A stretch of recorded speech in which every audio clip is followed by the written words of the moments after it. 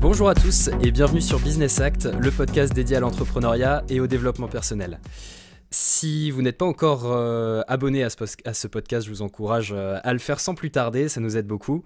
Aujourd'hui, j'ai le plaisir de recevoir Arthur Aubeuf, qui est euh, l'un des cofondateurs de Time for the Planet. Alors aujourd'hui, on va parler d'un sujet qui est engagé, un sujet important, un sujet fédérateur. Donc avant tout, Arthur, un grand merci d'être présent aujourd'hui. Salut Jacques et merci de me recevoir. Avec grand plaisir.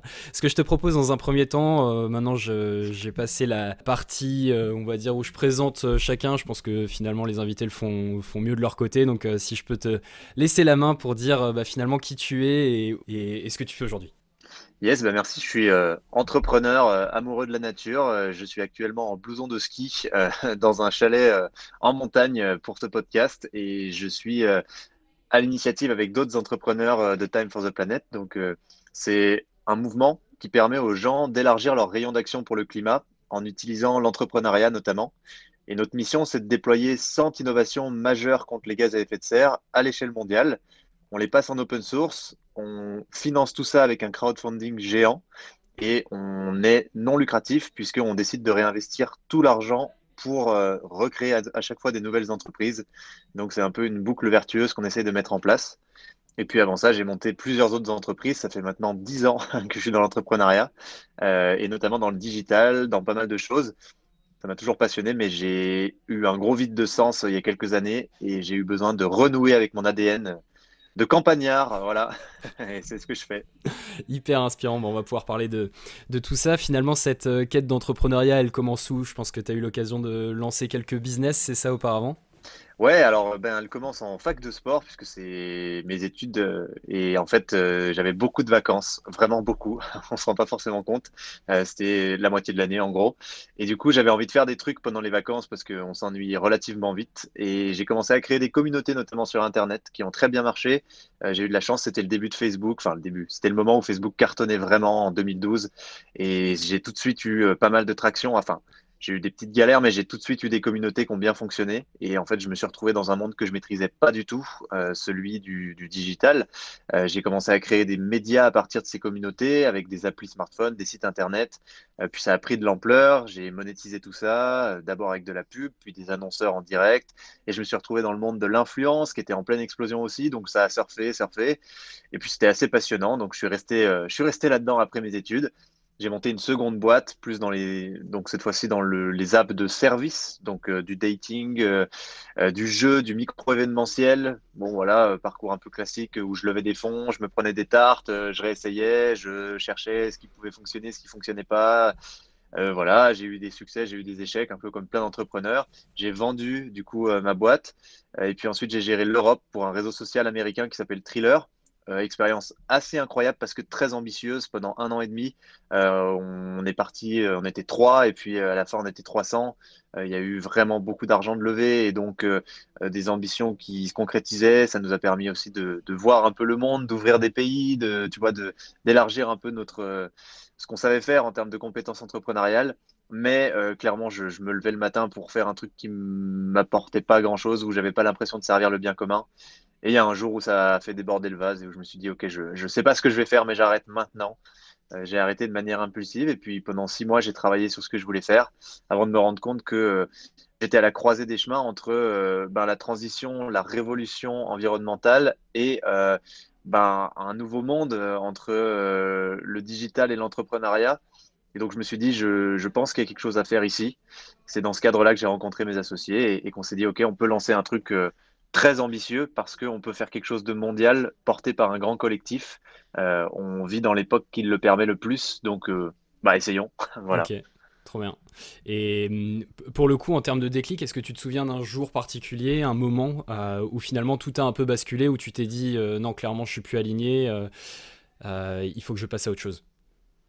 Oui, oui, parce qu'on on faisait un métier particulier, on travaillait avec tous les influenceurs. Donc, quand je faisais thriller, on, emmenait des influenceurs avec 10 millions d'abonnés à Los Angeles faire euh, des grosses soirées, les plus grosses possibles. Euh, on, allait, on avait sponsorisé le All-Star Game, je me rappelle, c'était une des premières actions de com. Donc, on emmenait des influenceurs là-bas euh, pour qu'ils fassent des stories, que ça fasse grandir la plateforme. Et en fait, il y a eu plusieurs fois pendant des soirées où, où je regardais autour de moi et je me demandais ce qu'on foutait. Quoi. Je me disais, mais qu'est-ce que c'est que ça? Cette espèce de, Je voyais un peu ça comme de la dégénérescence, hein, pour être tout à fait honnête, même si les soirées, c'est très cool et, j'aime quand on s'amuse, mais il y a un certain niveau qui, je trouve, devient débile quand l'argent est, vraiment mal utilisé, alors qu'on a des problèmes dans le monde à résoudre qui sont urgents.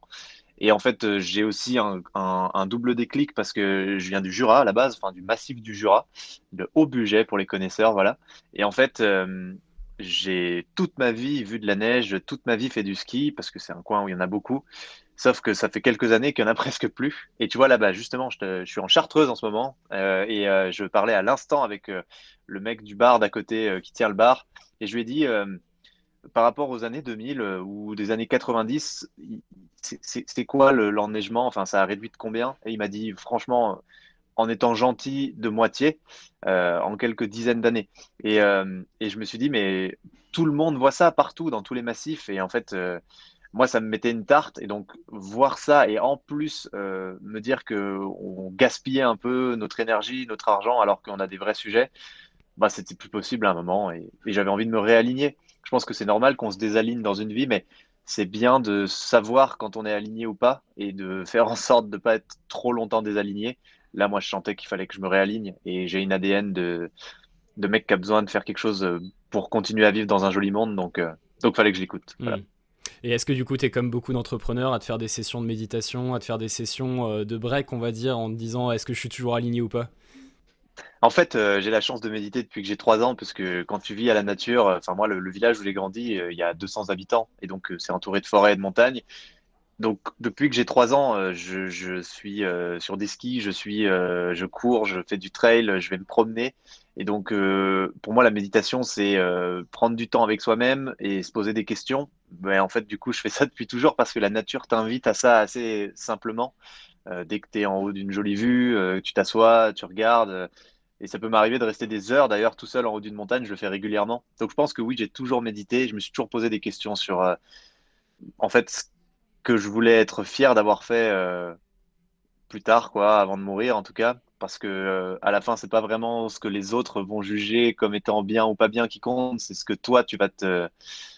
C'est ce que toi, tu vas considérer comme, comme quelque chose de bien qui compte. Et en fait, souvent, j'ai l'occasion de me poser cette question-là. Donc, c'est vrai que ça permet de se réaligner et c'est la chance de la nature. Quand tu es au milieu d'une ville, dans la fast life et que tu cours dans tous les sens, c'est pas simple en vrai. Hmm, si on discute un peu plus en détail de Time for the Planet, du coup, concrètement, on en est où aujourd'hui Si tu peux donner quelques chiffres euh, sur les avancées?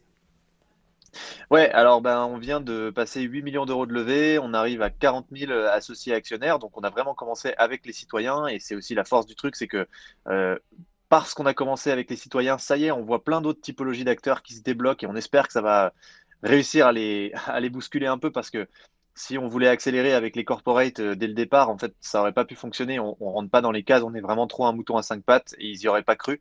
Le fait que les citoyens y aient cru en premier et continuent d'y croire, euh, ça nous aide énormément. Et c'est aussi pour ça que on peut euh, vraiment avoir bon espoir de réussir quelque chose d'énorme si on est très nombreux en tant que citoyens dans l'aventure demain. on a investi dans les trois premières entreprises, on en a reçu plus de 650, donc des dossiers d'innovation, ce qui est relativement conséquent pour, pour des gens qui sortent de nulle part et qui sont personne. Donc c'est assez cool parce que ça montre que le collectif, encore une fois, ça fonctionne bien. Et euh, on a investi plusieurs millions d'euros dans ces innovations. On a recruté des, entrepreneurs, donc des CEO pour les porter, euh, qui sont vraiment, vraiment très solides. Tout ça est disponible hein, sur notre site et, tout est transparent. Euh, et donc on est assez fiers de ce qu'on a pu faire. Maintenant, l'objectif, ça va être d'internationaliser, d'accélérer encore la levée, d'augmenter le nombre de projets qu'on va accompagner, enfin qu'on va faire naître cette année en allant recruter des équipes d'entrepreneurs et en finançant. Et puis, ben voilà, hein, on, est sur la route, on n'achète pas. Et par rapport à ces trois projets, du coup, c'est dans quel domaine? Alors, on a trois vraiment domaines très spécifiques. Le premier s'appelle Beyond the Sea. Ça permet de déployer des voiles de kite géantes euh, en pilotage automatique sur des navires gros porteurs pour réduire la consommation de ces bateaux de 20% en moyenne, mais minimum qu'autre chose. Euh, c'est porté par Yves Parlier, le, navigateur, qui connaît très bien les vents. Et donc, c'est une innovation qui va aller chercher des vents plutôt très hauts, euh, en haute mer, et qui va faire qui produit des, mouvements spécifiques à la voile de kite pour pouvoir euh, optimiser l'utilisation du vent. C'est très intéressant parce que les marins n'ont pas à déployer la voile d'eux-mêmes, tout se fait automatiquement, c'est très simple. Et puis la, marine marchande, elle a des contraintes de dingue là sur la réduction de ses émissions, donc on pense que c'est vraiment le bon moment.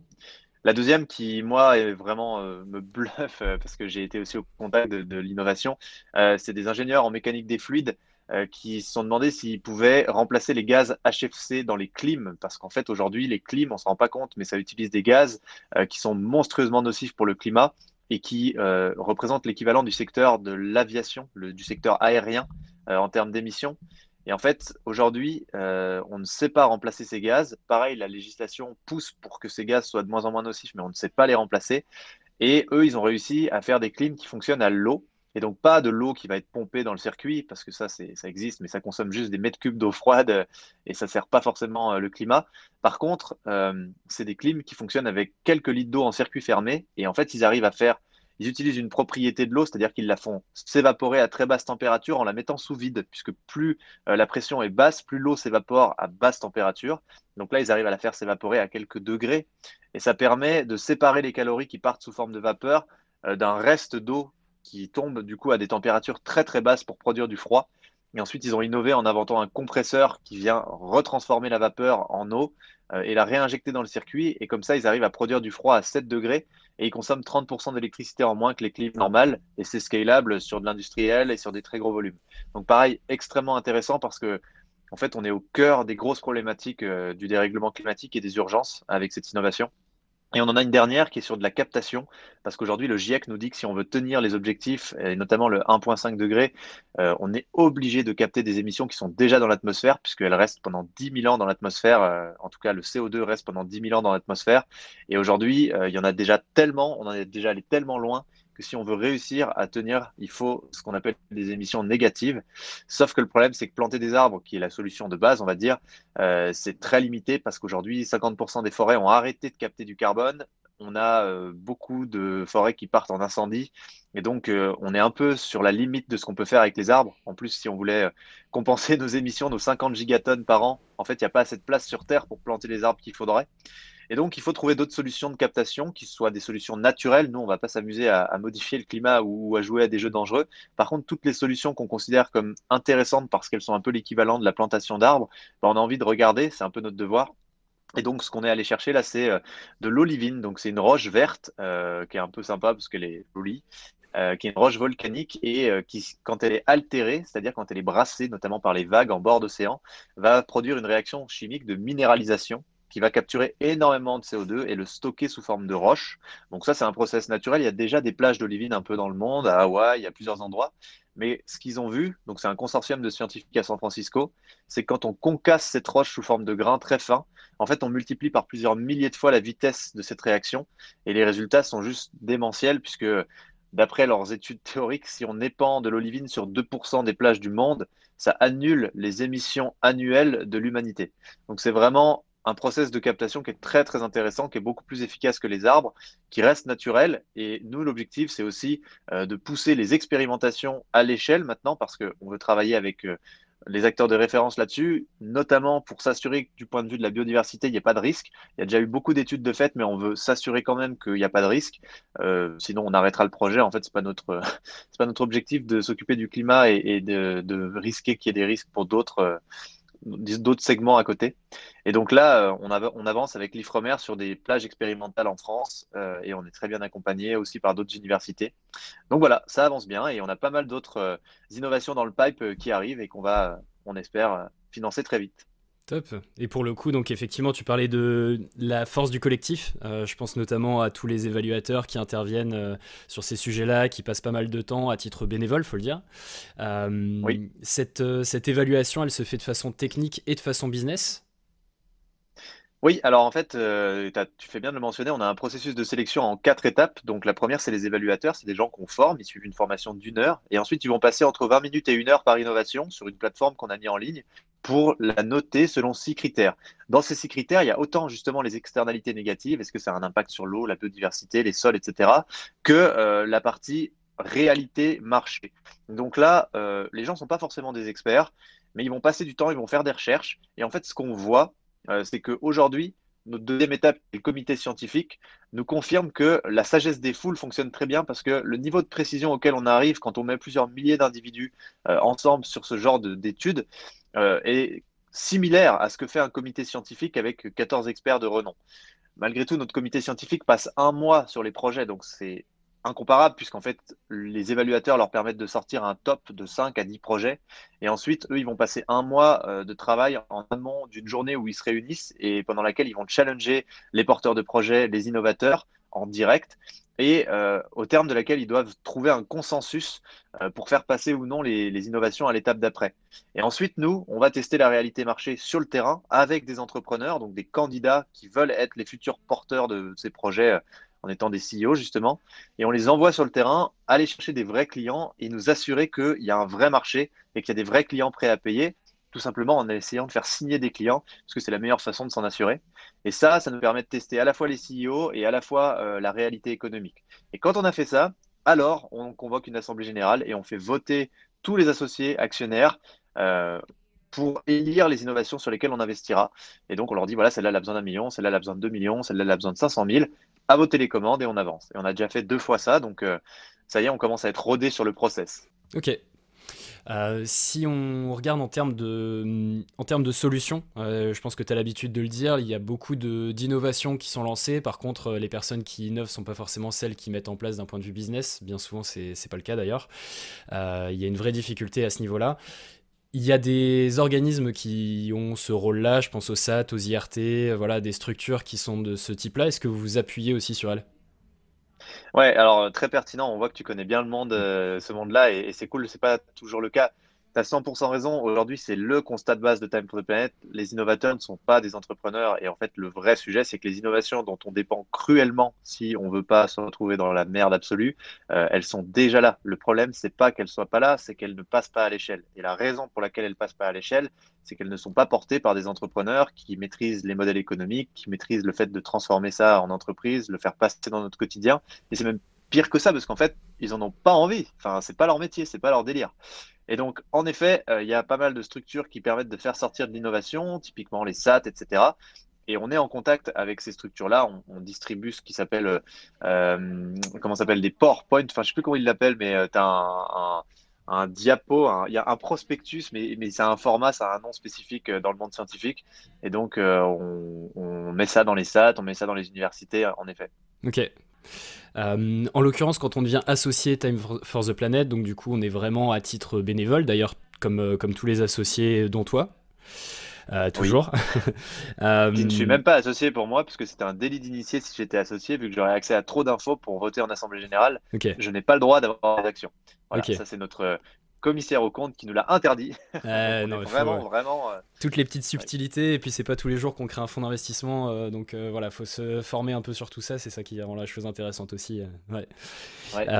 Et, et, donc en l'occurrence, donc c'est vraiment cette partie bénévolat. Quand tu mets de l'argent sur Time for the Planet, concrètement, t'as quoi en face?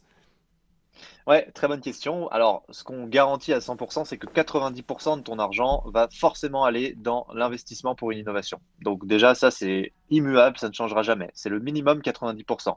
Ensuite, au maximum 10% de ton argent va servir à faire fonctionner Time for the Planet. Donc, on a des frais juridiques, des frais comptables. Quand on fait des augmentations de capital, on ne peut pas y échapper, par exemple. Enfin, on a un certain nombre de frais et demain des salariés de plus en plus, et c'est normal, hein, on n'aura pas de sujet avec ça. Euh, tout ça rentre dans 10%. Ensuite, avec ton argent et ton investissement, tu as un accès aux assemblées générales, c'est-à-dire au plus haut niveau de décision d'une entreprise. Donc, comme tous les autres, tu as accès à toutes les décisions qui sont prises et à la transparence totale puisqu'en fait, en Assemblée générale, on est obligé légalement euh, d'aborder tous les sujets importants. Donc, tu as accès à tout et tu vois de l'intérieur tout ce qui se passe. On euh, on peut rien te cacher, en fait, quand tu es actionnaire de Time for the Planet, puisque les AG traitent de tous les sujets importants et surtout, tu peux poser n'importe quelle question et on est obligé d'y répondre. Ça, c'est un truc que les, gens ne savent pas. En AG, s'il y a 7 heures de questions, on fait 7 heures de réponses. Et d'ailleurs, ça nous est déjà arrivé. Et eh ben, ça, c'est hyper important de le savoir parce qu'en tant qu'actionnaire, même si tu as mis 1 euro, c'est ton droit. On doit te répondre peu importe ta question, on doit te répondre. Donc c'est très important pour les gens de le comprendre parce que euh, ça permet d'accéder à une transparence totale. Ensuite, tu as accès euh, évidemment au fait de pouvoir élire ton conseil de surveillance. Alors qu'est-ce que c'est ça? C'est un organisme en interne qui représente les actionnaires et qui permet aux actionnaires euh, de s'assurer que la boîte n'est pas dévoyée. Et donc le conseil de surveillance, lui, a un rôle de pression, entre guillemets, euh, sur l'actionnaire commandité, c'est-à-dire les gérants, la gérance de la boîte, donc nous, euh, pour s'assurer que les intérêts des actionnaires sont bien représentés. Et donc là, euh, les associés peuvent élire ce conseil, mais aussi pousser des recommandations au conseil, des, des retours. voilà, c'est l'organisme qui les représente. Et puis ensuite, et en dernier lieu, comme on le disait, on vote pour les projets sur lesquels on va investir. Donc tout se fait ensemble de manière très démocratique on vote pour euh, accepter ou non euh, le salaire euh, des dirigeants si demain il y en a un. On vote pour accepter ou non. en fait, toutes les décisions importantes, vous êtes au cœur. Vous n'êtes pas obligé de le faire, hein. on n'est pas obligé de taper toutes les AG, mais si vous en avez envie, vous êtes les bienvenus et, en fait, la boîte vous appartient, donc vous êtes copropriétaire. Mais ça, c'est les droits, mais je considère qu'il y a aussi un devoir, c'est que quand on devient associé actionnaire, en fait, c'est la force de Time for the Planet. On l'a créé comme un objet dont chacun peut s'emparer pour l'aider à grandir. Et donc, le but, c'est de faire en sorte, avec votre réseau, avec euh, juste euh, le fait de faire un peu de bruit, de bouche à oreille, euh, de s'assurer que Time for the Planet va continuer de grandir et de porter, de représenter Time for the Planet pour l'aider à être plus que juste ce que c'est maintenant. Nous, le but de Time for the Planet, c'est que si demain on se fait abattre ou, qu'on meurt, aucun problème. Time for the Planet continue à grandir et, et s'autoporte parce que les actionnaires ont compris que c'est pas juste un don où, tu files de la thune et tu sais jamais où ça, où ça sera. Non, là, tu copossèdes ce truc, t'en es emparé, c'est ton âme. Hmm. Alors, peut-être pas jusque-là, mais c'est juste pour dire que euh, c'est ça qui fait qu'on peut réussir un truc mondial et c'est ça qui fait qu'on peut avoir une action collective qui est démesurée en termes d'impact. Hmm. Ok, tu parlais tout à l'heure des, entreprises qui participent aussi de plus en plus euh, à cet effort et qui ont du coup davantage de moyens aussi euh, de façon individuelle. Euh, si on prend ces entreprises-là, elles, elles ont des avantages. Je pense qu'il y a des crédits qui sont accordés ou quelque chose comme ça. C'est ça, il y, a des, il y a des avantages aussi pour les entreprises. Alors, les entreprises, elles n'ont pas plus d'avantages que les citoyens. Juste, il y a un point qu'on n'a pas abordé. En fait, on, rémunère nos actionnaires non pas avec du dividende traditionnel financier, puisqu'on réinvestit tout, mais on les rémunère avec ce qu'on appelle du dividende climat, c'est-à-dire des tonnes de gaz à effet de serre non émises ou captées grâce à leur argent. Et en fait, ça, c'est un produit qu'on a vraiment créé et qu'on a co-créé, notamment avec l'ADEME, avec Carbon 4, avec Net Zero, qui est euh, le protocole de référence en Europe. Et ça nous permet de proposer un produit qui a une vraie valeur, euh, qui est vraiment comptablement recevable à la suite des bilans carbone des entreprises. Et donc, en tant qu'individu, c'est intéressant de recevoir son dividende climat parce que tu peux te dire, voilà, je me bute euh, pour descendre euh, et me rapprocher des, accords de Paris, par exemple, qui sont à 2 tonnes par individu. Aujourd'hui, je suis à 6 tonnes. Comment je vais plus loin? Bah, J'investis dans Time for the Planet, ça me fait passer à 2 tonnes. Ça, c'est intéressant. Mais pour une entreprise, c'est encore un autre level parce que eux, ils ont des vraies contraintes, ils ont des amendes s'ils atteignent plus un certain nombre de niveaux maintenant et de plus en plus d'ailleurs donc, il y a des vraies urgences à être capable de décarboner. Sauf qu'aujourd'hui, il y a un problème éthique qui se pose avec un certain nombre d'outils. Par exemple, le crédit carbone. Euh, beaucoup s'en sont servis pour juste compenser et dire euh, bon, bah nickel, je continue tout pareil. Sauf qu'aujourd'hui, les gens ne euh, veulent plus que ça se passe comme ça. C'est-à-dire qu'on a créé un produit qui permet de dire je contribue à la neutralité carbone à l'échelle mondiale. Donc je contribue à l'effort collectif pour sortir de cette merde en finançant la transition à travers l'innovation pour qu'on se transforme de l'intérieur. Ce qui est radicalement, l'opposé de dire euh, je, paye pour euh, continuer pareil. Et ça, c'est le dividende climat.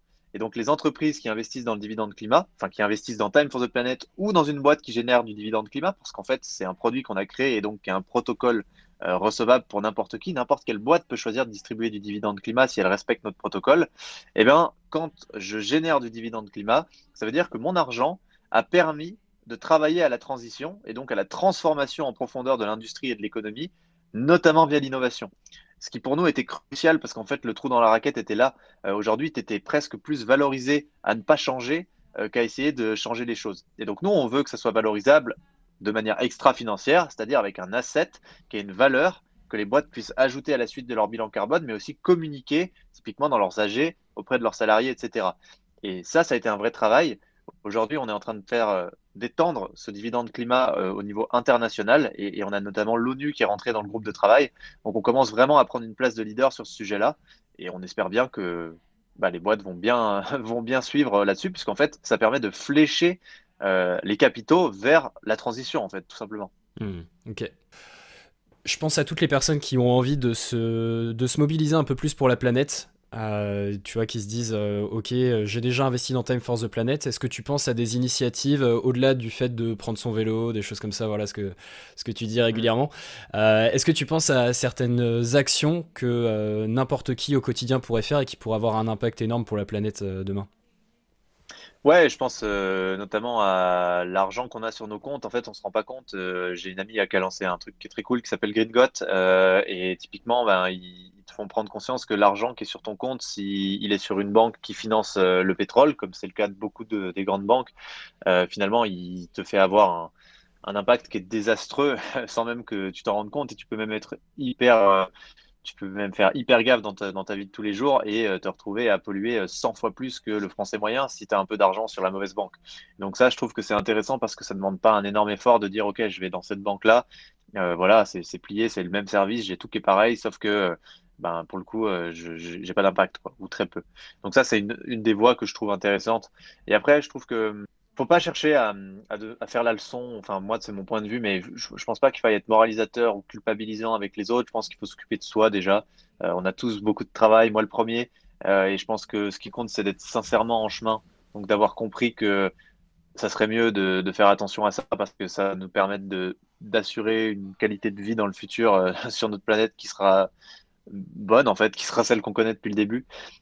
Après, euh, chacun choisit la façon dont il veut le faire. Je pense que en fonction de nos vécus, en fonction de notre environnement, tu vois, c'est, c'est, on peut pas euh, exiger les mêmes choses euh, à chaque individu. Donc, je pense que vraiment, il faut se tourner vers soi et se dire, ok, comment moi je peux travailler sur moi-même et m'améliorer, devenir une meilleure personne.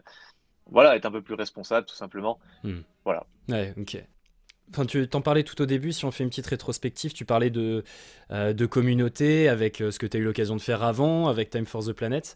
Euh, concrètement, pour toi, quel conseil est-ce que tu donnerais pour construire une communauté à la fois forte et engagée? Travailler sur la croyance, donc la croyance collective, la croyance partagée, parce que c'est le socle et c'est le pilier d'une communauté. Et pour avoir une croyance qui soit efficace, en fait, il faut être capable de l'exprimer de la bonne manière, parce que les mots, ça peut paraître un peu anodin, mais on a tous euh, un vocabulaire, une vision des mots très différente. Ça nous envoie des choses différentes en fonction des mots. Donc, il faut être capable de faire en sorte que les gens se reconnaissent dans cette croyance forte. Euh, et une fois que tu as ce ciment, que tu as ce, cette croyance qui est en place, eh ben, les gens sont beaucoup plus à même d'être des ambassadeurs. Et là, il faut travailler à ce que ce ne soit pas juste des followers ou une audience, parce que ça n'a aucune valeur. Il faut travailler à ce que ce soit des ambassadeurs et ce qui participe à faire grandir cette communauté parce qu'ils ont conscience du fait que tu as défini une croyance forte et que tu as envie que cette croyance, elle se réalise.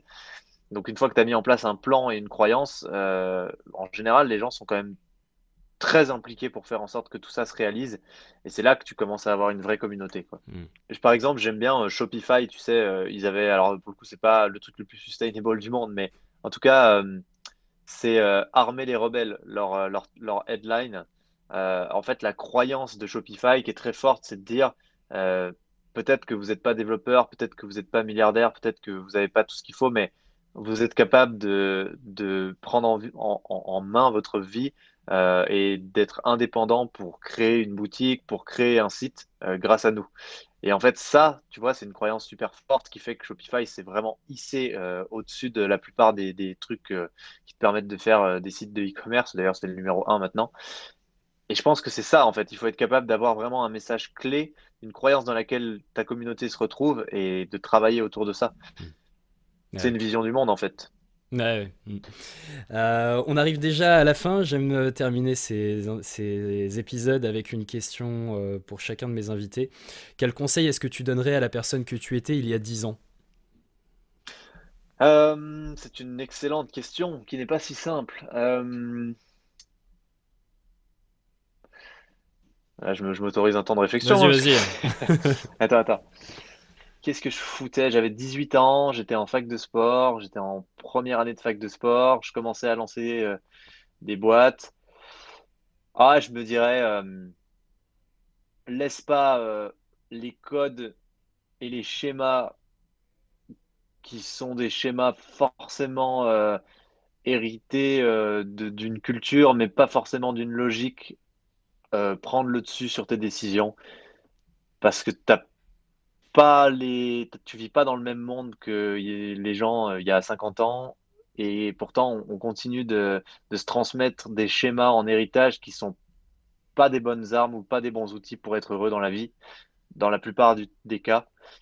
Donc je me dirais, laisse pas ces trucs-là t'influencer. C'est pas aussi simple euh, à faire qu'à entendre et à dire, mais je pense que ça a participé à parfois pas forcément me permettre de donner autant que ce que j'aurais pu donner, parce que ça crée des craintes, des peurs.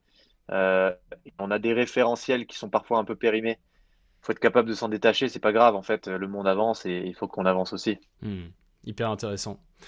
Est-ce que de ton côté, tu as un dernier mot de la fin, un message que tu aimerais faire passer euh Allez à la montagne. Il fait froid, mais belle. un peu. Ouais, je sais pas. Euh, je, pense qu'il faut que, que chacun se rende compte de la puissance de la nature, euh, apprenne à l'aimer parce qu'on est dans un monde où, on s'en est trop détaché. On a oublié que la nature, c'est nous, en fait. Et, et, ça va nous. On va se prendre une grande gifle, en fait, si on n'est pas capable de le comprendre. Hmm. Ah, épisode hyper intéressant. Merci en tout cas Arthur pour ton temps et puis euh, à très vite. Bah merci à toi, à plus.